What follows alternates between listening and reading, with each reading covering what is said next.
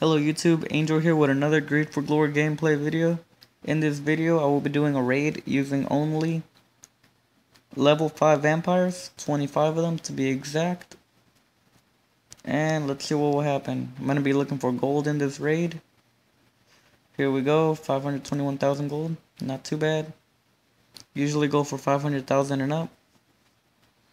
And I never really tried this. I did an older video, but they weren't level 5, so it should be better now.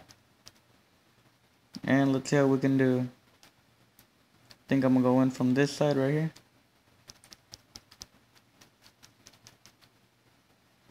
It's a bunch of vampires, man.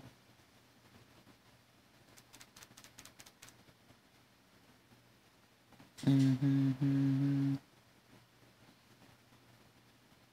As long as I get the gold, I should have went from this side. oh well, they got that one already. This should be a good raid. Seems like the bats are flying over. A couple of vampires still running around. Setting off flares and spikes. Spikes will turn them into bats. As you can see, look at that. Bats going everywhere. that's crazy. Now all that's left is the barracks. And even in bat form, they made it. I already got all the gold like I wanted. And it was an easy 3 star. Next video I will be doing a full army of a different troop just to see what would happen.